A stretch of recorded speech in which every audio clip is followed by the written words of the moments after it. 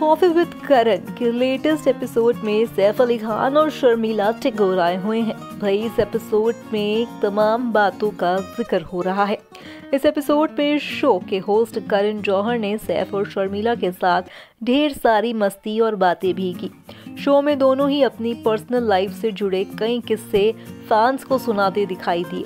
Show में सैफ और शर्मिला टैगोर को काफ़ी ही सरप्राइजेस भी मिले।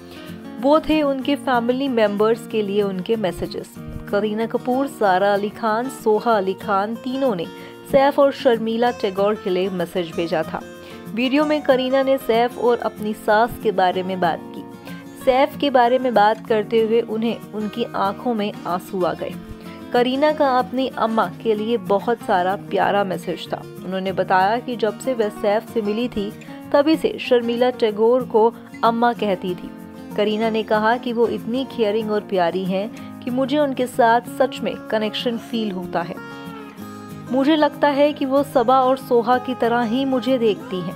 उन्होंने हमेशा ही मेरा वेलकम किया और मुझे कभी भी आउटसाइड फील नहीं कराया।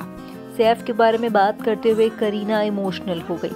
उन्होंने कहा कि सैफ मेरे लिए क्या मायने रखते हैं। सैफ मेरी पूरी दुनिया है। वो मेरे यूनिवर्स हैं। मेरी पूरी लाइफ मेरे सैफ के इर्द गिर्द घूमती है।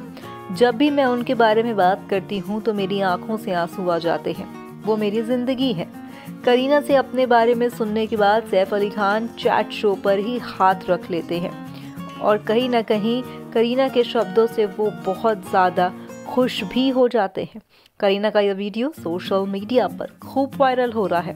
फैंस इस पर ढेर सारे कमेंट भी कर रहे हैं। एक फ़ैन ने लिखा करीना सच में सैफ से बहुत प्यार करती है। तो किसी ने लिखा कि वाह, ये क्या जोड़ी है। बता दें कि सैफ अली खान और करीना कपूर ने साल 2012 में शादी कर ली थी। उनके दो बेटे तैमूर और जय हैं।